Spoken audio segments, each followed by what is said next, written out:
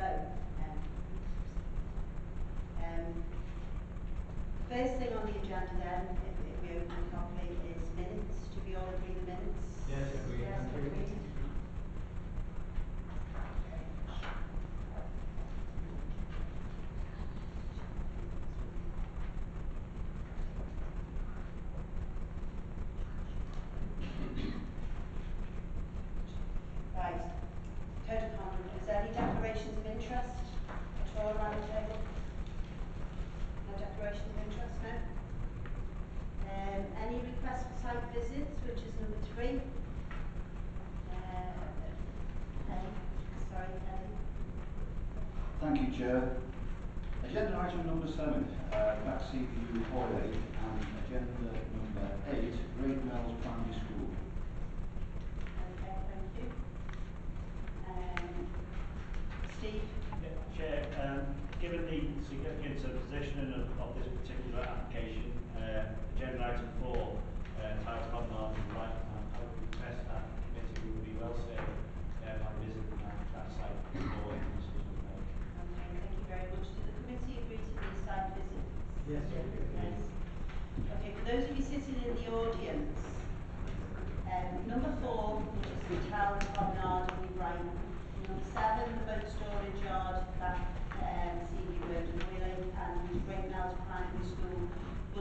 to be discussed tonight. We were going on a site visit, they will not be discussed until the next meeting.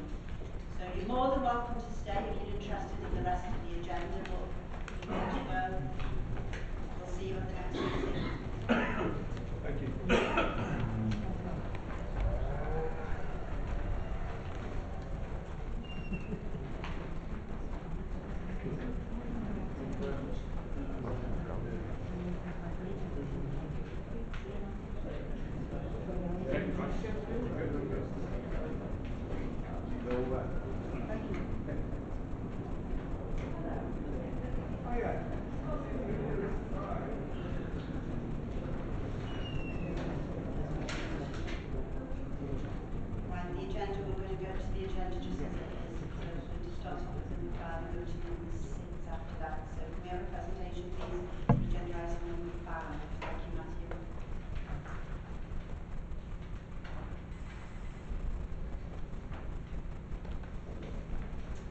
Chad, through uh, proposal is for the development of three split-level houses on vacant land behind, between Beverly Gardens and Mill Road. Um, whilst the principal development is accepted in this location, given that the primary residential area designation here, um, the site is constrained, we a change in levels from 4 metres east to west, and being closely surrounded by existing residential dwellings. There have been a number of planning applications in recent years at the site,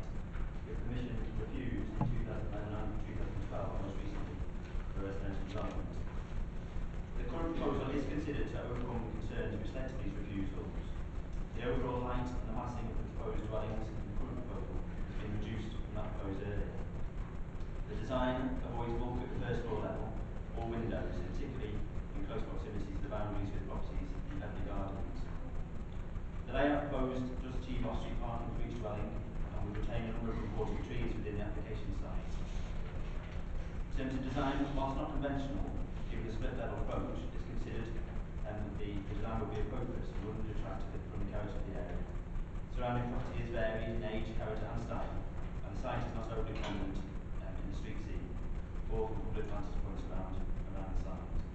Overall development is considered a sustainable one in this location and is recommended for approval subject to a number of conditions as listed in the officer report, notably um, requiring confirmation of the levels, um, finished floor levels for the proposed dwellings, boundary treatment, landscaping, materials, and removing permitted development rights for the development. Two additional conditions are requested that aren't listed in, the item five. Um, they, they will cover um, site waste management, um, but also refuse collection within the, the, the, the plot. Um, members will be aware that there's reference in the report to the waste local plan policies WM8 and WM9.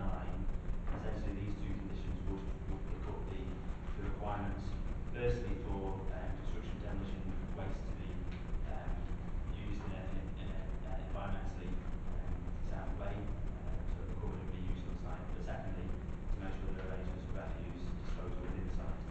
Um, I have wording for the conditions, I can read them out.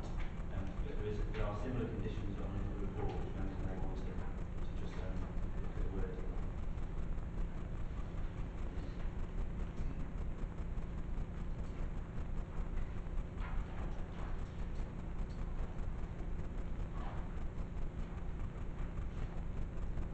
So if members refer to agenda item seven, the, the item that's been referred, the wording is this, that would be reviewed would be the same as conditions number seven and eight. Can you give us the page number, please? Page forty-two, yeah. So conditions seven and eight, which, um, which require um, details of storage and disposal of refuse in the site and a site waste management plan. And we would ask the members, uh, should it be managed to add those two additional conditions onto the decision. Thank you.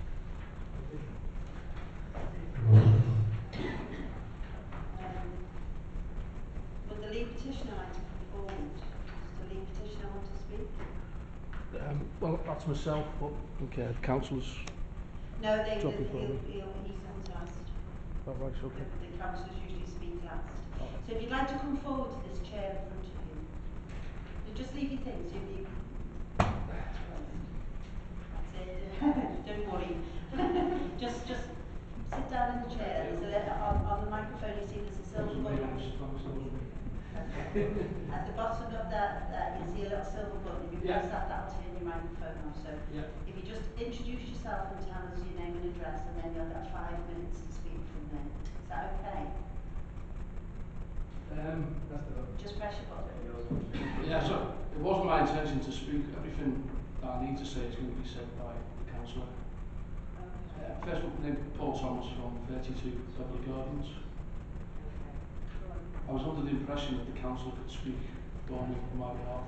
That's all right, you don't have to, you don't, yeah, it's all right. So what we will do is we'll say that the petitioner hasn't spoken. I don't know if, if the council, if, if the, okay, what, what, Yeah. what that means is that the applicant won't be able to speak then. So if you, you're saying you're not going to speak, so that's, that, okay? Okay. Sorry, sorry for dragging you. That's all right, thanks. So it, it'll be like we'll have to come forward. So the councillor like to come please.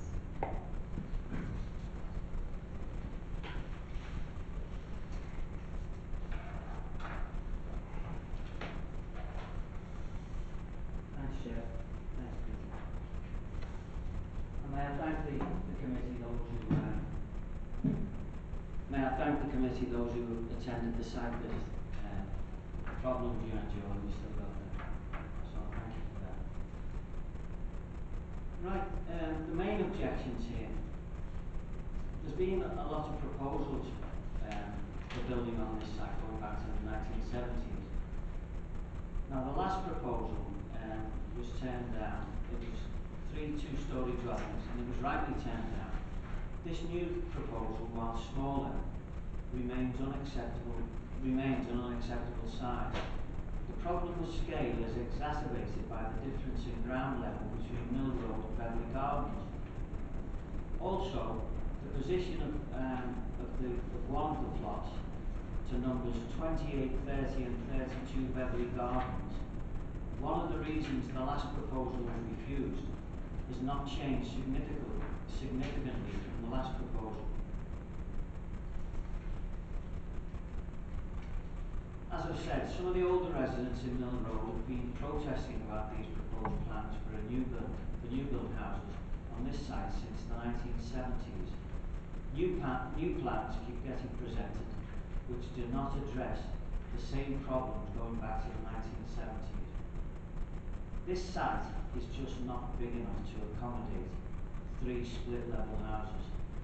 The closeness of the existing properties to this closeness of the existing properties this committee saw on the recent site visit, where we have residents of Mill Road concerned about the building works that will occur if, if um, permission is given tonight.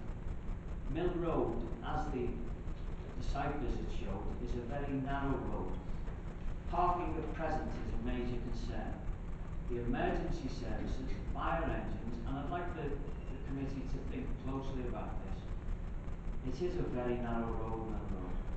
The emergency services, fire engines, ambulances, police already have major problems gaining entry here, as do Biffa whilst emptying the bins. Any new traffic coming in with the latest application would greatly exacerbate this already serious problem. Access and any extra parking would undoubtedly cause major problems to existing residents. Drainage at present in the properties in 15, 17, 19 and 21 Mill Road, they already have major problems with the drainage here. These problems are, being exacerbated and they, they have been overcome as we speak, as I speak. The sewerage is backing up within the toilets in the back gardens and some of these residents have got children and these problems are ongoing. Has this applicant fully understood the problems this site already has with drainage? These problems are ongoing and serious.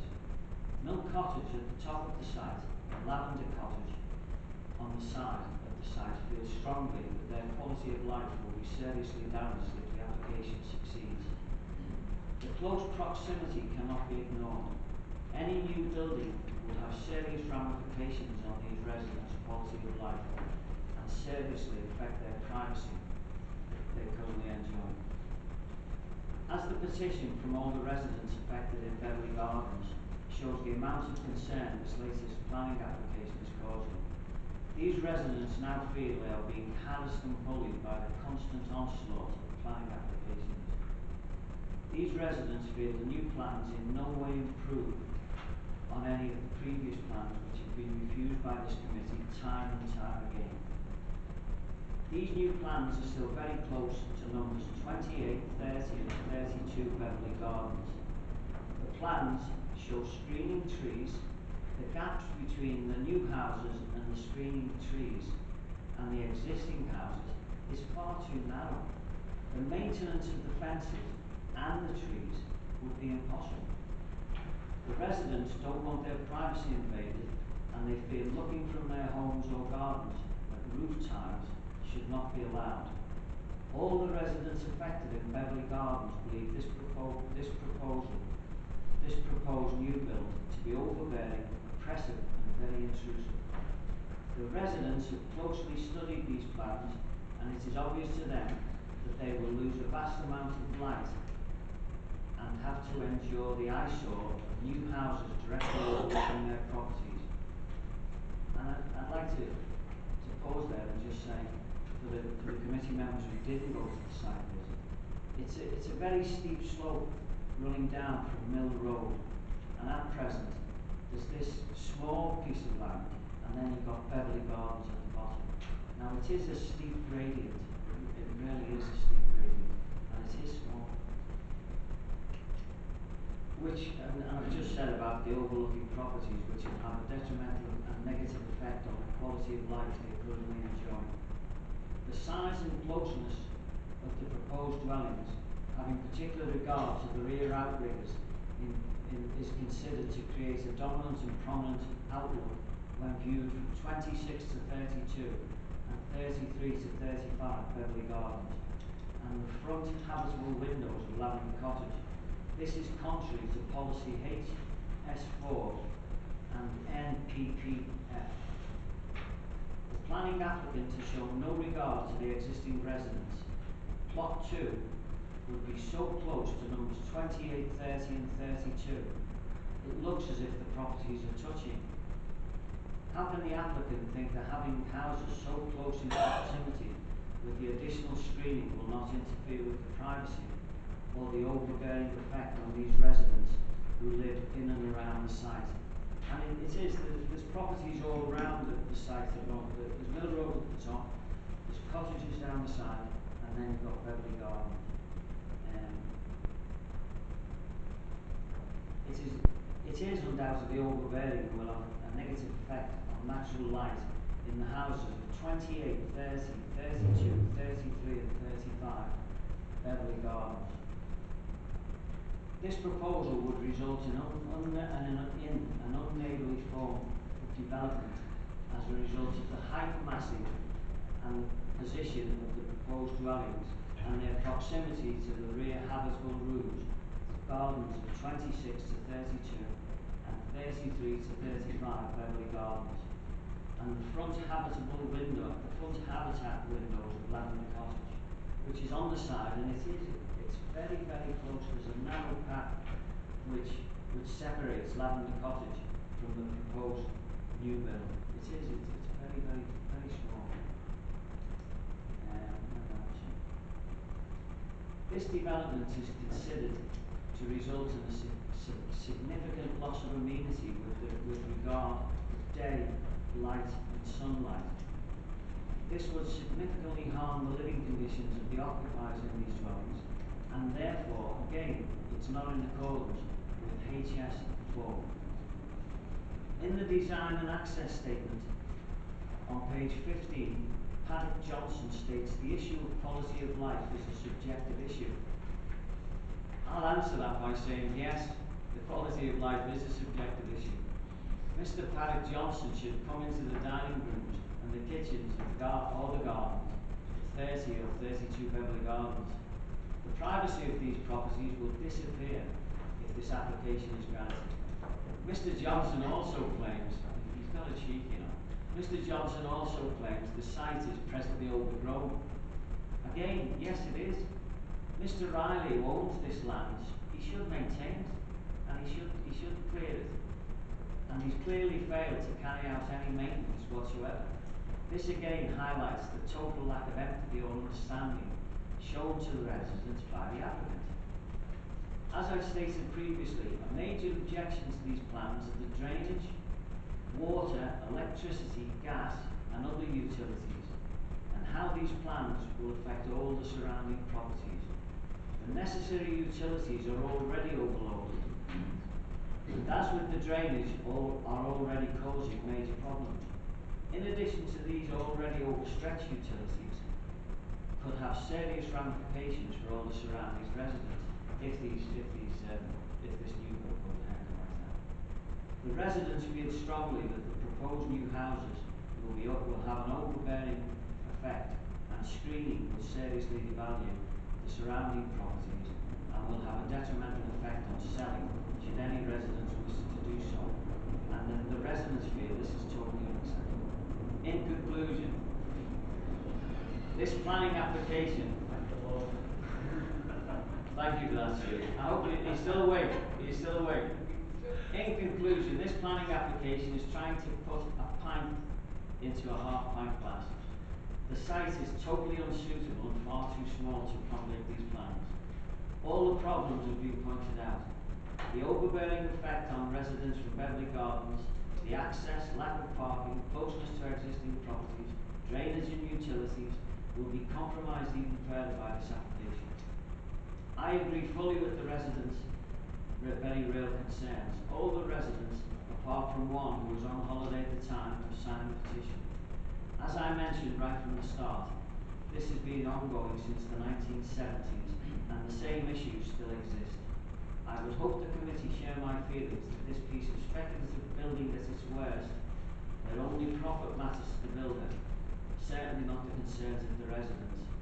Um, I, I hope you feel that, that when you, you come to the right conclusion and not grant this, uh, this application. Thank you, Chair. Thanks, committee for listening. Thank you, Mike, for and in-depth report on how you feel. Thanks. I hope so, Chair. I hope so. Mike? Did I miss anything Mike, else? Mike, you might. Did I miss anything else? No, I don't think so. Right. Can we open this up? A few of us have went to the site visit and, um, uh, okay, um, start with Dave and then. Thank you, Chairman. Might I just suggest that Michael gets an Oscar for that? I think it was a fantastic presentation, all the best. Very, very concise and, and sensible um, result with that. What I'd like to see, if it's possible, is please a site plan to show where these buildings are located in relation to the boundaries, which you've got up. I think the other thing we'd like to see eventually, Matt, is the uh, section which is marked with the dotted line from A to A through the centre of it. But before we do that, can we just look at that plan please? If we look at that plan, I think the concerns being expressed, if you look on the right-hand side at the rear of 30 Beverley Gardens, we have a situation where the fence is only about a metre from the proposed new dwelling. I think that sort of situation normally arises at the side of houses, not at the rear. See what I mean? Houses are separated by an amount of, around about a metre on occasion, all over the borough, which includes my house in that. I think it's unusual to have a house that close to the rear boundary of an existing property. Uh, the second thing, if we look at the section map, please, I think that does give an indication of the falls in land that uh, Councillor Sullivan alluded to, and I think it's just worth looking at that. Um, that, of course, at the bottom on the left-hand side, I imagine is 30 to 32 the gar- um, uh, Beverley Gardens. I'm trying to show in that that the sight line, of course, would be across the lower, the lower dotted line shows the sight line from somebody looking at the rear of that property across the fence to the proposed property, and the larger, higher one um, is the sight line for the ridge. So I think you can get a very good idea on that sloping side of what the impact will be of this particular development on the neighbours next door. As I say, I, can almost accept that. What I'm a little bit troubled about is how close it is to the rear boundary of the uh, gardens in, um, the, I just wanted to draw attention to that for the benefit of the community. It wasn't apparent from the drawing that we've had. I went on the site because I found it incredibly uh, useful to go. Those who went on, I think, were also uh, Uh, glad that we went because we needed to go to see what it looked like. So, having just made those points, I'll leave it to the rest of the committee to draw any further conclusions. Thank you, Chair. Dave, Phil, did you want to come in? Thank you, Chair. Um, the overgrown nature of what we can see on the screen now, I think it's clearly going to overshadow uh, the house on Beverly Gardens. If not the actual property and tree and fences are going to wreck the property instead. Um, being on the site visit, which was incredibly useful, it really was, the closeness of where that house about being Beverly Gardens is going to be. Um, I can't see how it could do anything for negatively affecting the use of those houses there. Um, does anyone else want, want to talk on this? No? In which case I want to move to refuse this. So.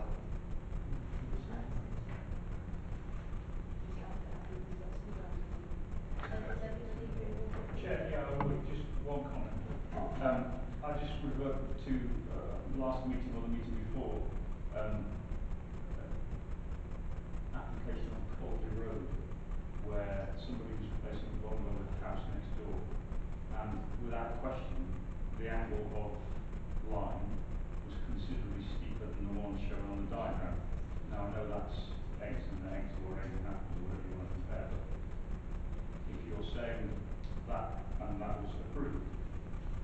So, I just have difficulty in this committee picking and choosing when lines quite clearly are not quite steep in this illustration as they have been previous applications. I, I, I think uh, those of us who were at the site visit, I think will see exactly how close this is to, to number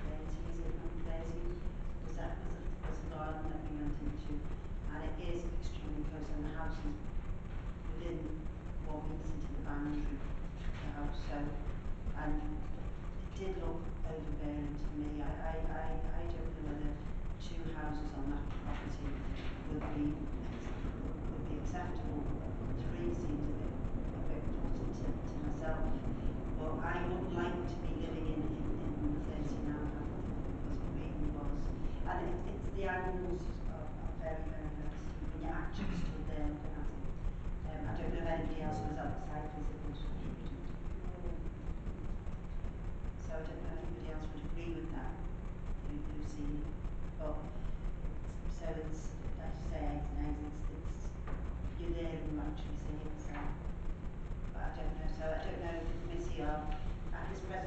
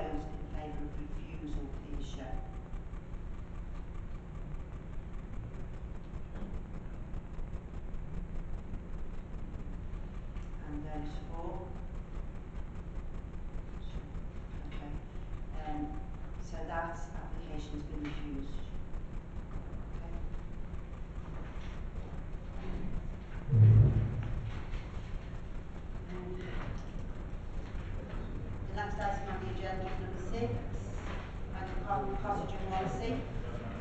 So do you want a presentation?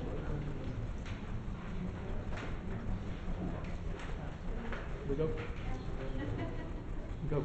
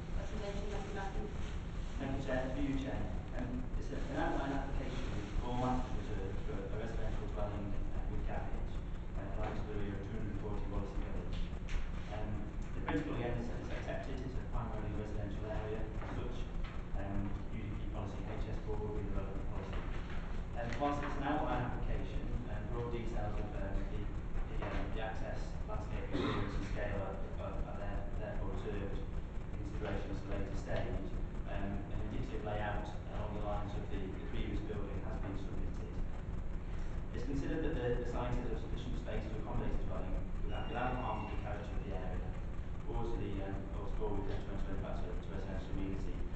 Uh, one concern raised had been said access arrangements. It must be noted by members that this matter is reserved and there is potential for off-street parking within the application site uh, without conflict to access arrangements uh, um, with the, um, the frontage